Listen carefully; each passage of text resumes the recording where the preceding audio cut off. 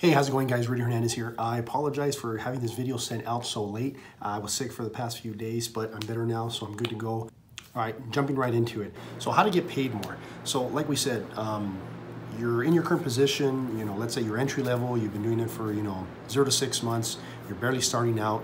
Uh, how do you get that higher pay rate? So the, these are next three are gonna be definitely put you on that fast track to get towards that higher paying position. Number one is know your job.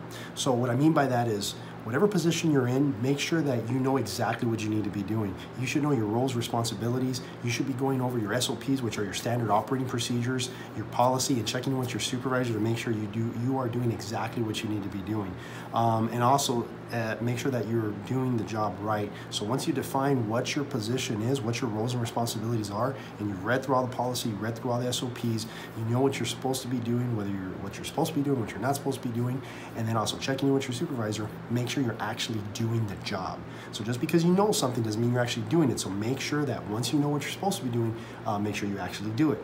And then um, within that category is do the job right. Make sure that you're doing the job um, to the best of your ability and to exceptional standards in the eyes of your supervisors and your clients.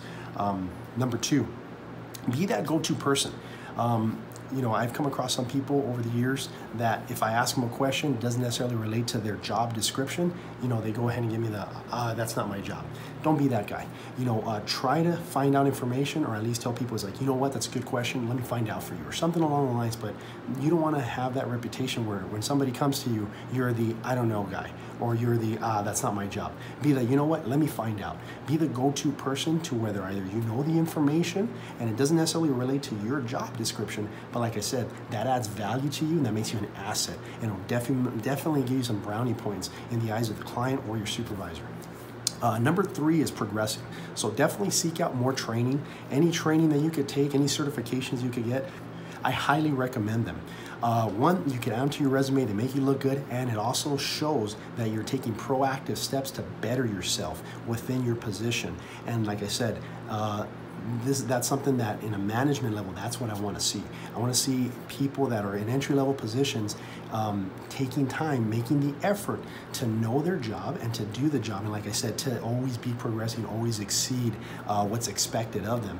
And like i said it may not seem like a lot at that point but if you definitely want to move up uh, you know the corporate ladder so to speak even though that entry level position is paying you whether it's minimum wage just above minimum wage whatever it is you're gaining that needed experience so you can take that next step like what we talked about in prior videos.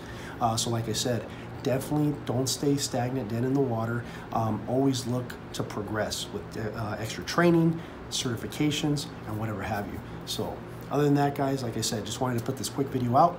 I appreciate you. Uh, stay safe, and thank you. Go and do likewise, gents. The money's out there. You pick it up, it's yours. You don't, I got no sympathy for